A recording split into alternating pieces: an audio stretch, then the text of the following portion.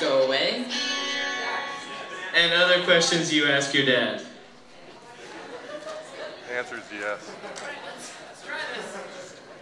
yes.